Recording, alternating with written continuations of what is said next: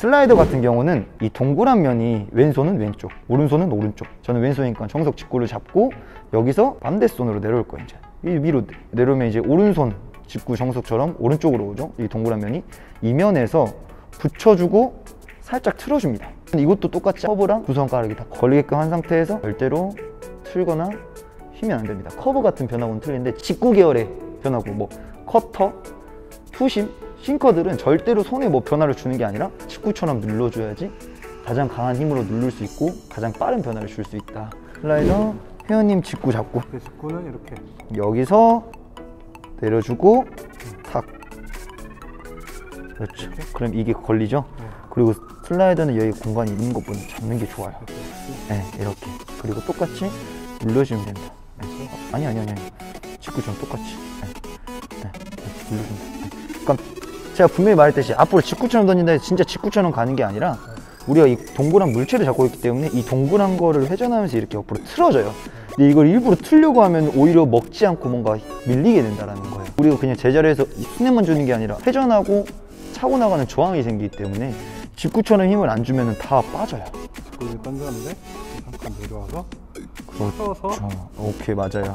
네, 맞아요. 슬라이더는 직구 계열의 변화기 때문에 직구보다 스로잉 스피드를 순간적으로 더 빠르게 한다. 직구가 아, 이 정도라고 하면은 변화구는 좀 더 빠르게. 어? 이런 식으로 직구처럼 가다가 좀 떨어져요. 직구에서 반대.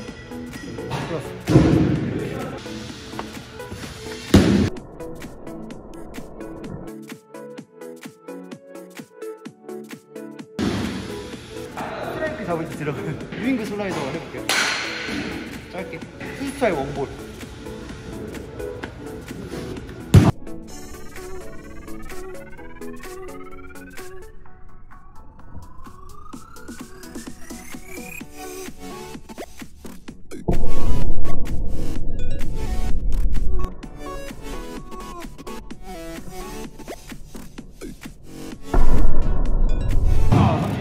이거는 휘두른다.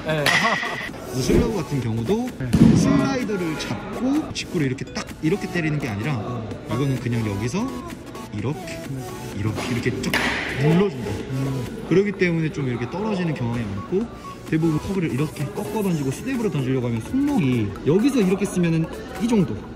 근데 우리가 여기서 이렇게 쓰면 이 정도나 들어가야 돼요. 이 정도랑 이 정도.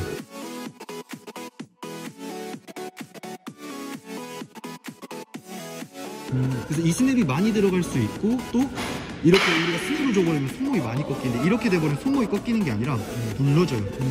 그냥 찝히지가 않는다는 거죠 근육이. 그래서 손목에 무리가 많이 안 가고 오래 던져. 제가 그래서 이걸 초등학교 6학년 때 던졌고 유소년 애들한테 변화로 그거를 많이 알려줘요. 왜냐면 변화구도 많이 없고 팔 부담도 없고 그래서 이 슬러브를 던져보도록 하겠습니다.